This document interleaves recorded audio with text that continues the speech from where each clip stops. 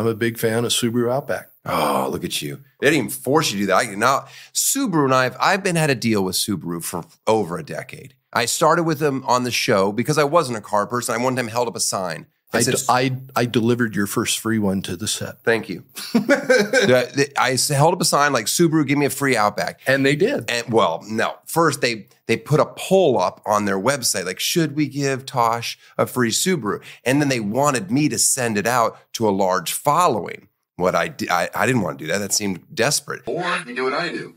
Get yourself a Subaru Outback, all-wheel drive. Since we handle any type of weather. That's for sure. Know that I only have one car, not multiple cars. So all my life's adventures for the last three years have taken place in this baby. Oh, and she is fully loaded. Have I gotten a third base in that car? You better believe it.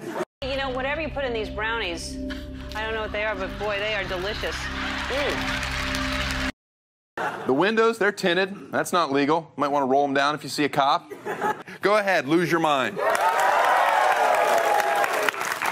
But I got that free Subaru, and then over the years developed a relationship, and I, they always would give me them. But it's gotten it's gotten harder and harder to get free Subarus out of them lately.